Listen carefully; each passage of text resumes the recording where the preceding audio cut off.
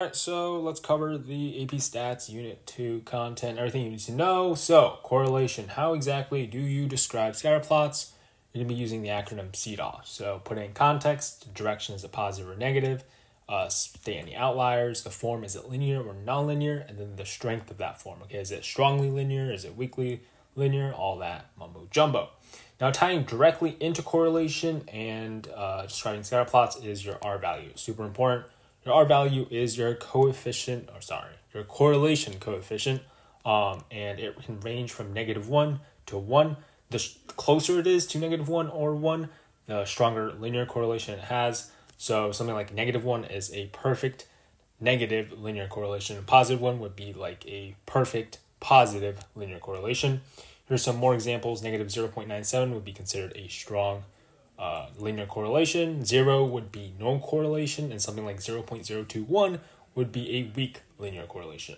Um, a couple things that do not impact your correlation coefficient is changing your units, right? So um, if you, I don't know, multiplied everything by 100, does not change your R value. Also, if you switch the X and Y axis, that does not change your R value. Um, now let's talk about how outliers affect your R value. So any outliers that are within the pattern of data will strengthen R. Any outliers outside the pattern of data will weaken R. What is the pattern of data? Well, I drew a nice diagram to represent it. So it's basically like the general trend that your points are facing. So this is like our general trend. So if I had a super out, you know, outlier, like you know this this star I'm drawing out here, that'd be within the pattern of data and strengthen R. But if we had something down here, right, that's outside the pattern of data, that would weaken R. Also, remember, correlation does not equal causation. Super important here. You probably heard it before, so just keep that in the back of your mind. All right, so now let's talk about regression lines. So, regression lines are essentially just your best fit lines. So, if you have a scatter plot with points, you put your best fit line on there, and it helps you estimate values uh, for uh, points that you aren't given. Okay. Um, so what this looks like on the equation is y hat. You use y hat instead of y because it is your predicted value, not your actual y value. So it's y hat equals a plus bx. You, you know, you've seen that form before. A is your constant, b is your slope. Um, something you probably haven't seen before is your residual. Okay, so your residual is just the degree of error of regression line prediction. Okay, so let's say my actual value is 5 and the predicted value is 10, then you get negative 5 as the negative 5 units as the residual.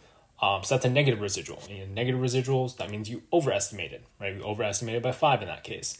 A positive residual would mean that you underestimated the actual value. All right, so the important thing with, uh, I would say, regression lines is that, yes, you are going to be calculating and extrapolating some values and all that, but I would say the big part is interpreting the regression line with proper language. This is super important. It's probably what's going to be tested on the AP, maybe on your midterm. All right, so here's an example. I just stole this methodology off my AP stat teacher, so hopefully it's not like copyright infringement. Um, but it basically shows you the you know one way you could use language to interpret the slope, interpret the y-intercept, interpret the residuals, all that talking about stuff like explanatory variable. That's just the independent variable, your response variable, your dependent variable, and then using that you know specific and really uh, correct language. And now let's talk about the least squares regression line. So basically, you'll get a big data set and you're gonna plug it into your graphing calculator and then you can use the calculator function to produce the least squares regression line. It's the line that minimizes the sum of the square residuals. You don't need to know what that means, but basically it's like pretty much a best fit line, sort of. Um, so the key things you know about this is that you can also find these values, by the way, with your calculator. The S value is your average distance. The predicted values are away from the LSR. Um, and then your R squared value is the coefficient of determination. That's a percent of your response variables that can be explained with the explanatory variable. And for a optimal least squares regression line, you want as low of S value as possible and as high of an R squared value as possible.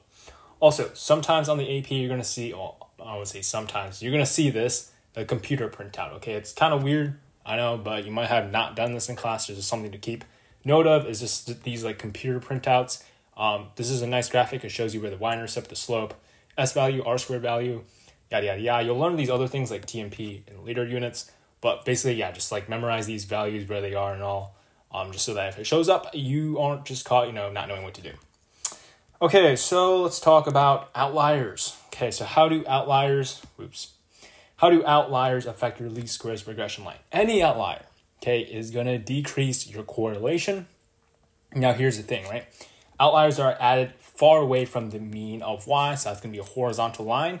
That's going to decrease your slope and also increase your y-intercept.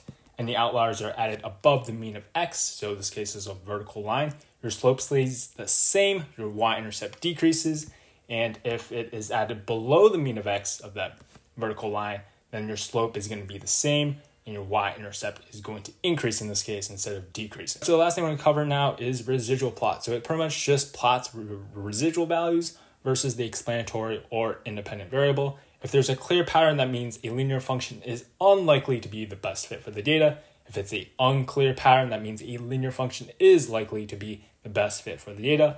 And here is a example of the unclear pattern.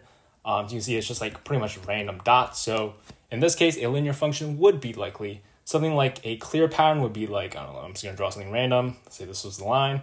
And you go something like this, right? Like a U-shaped parabola, whatever. That means it would be unlikely for a linear function be best fit for that data. So that does it for all the content you need to know for AP Stat Unit 2.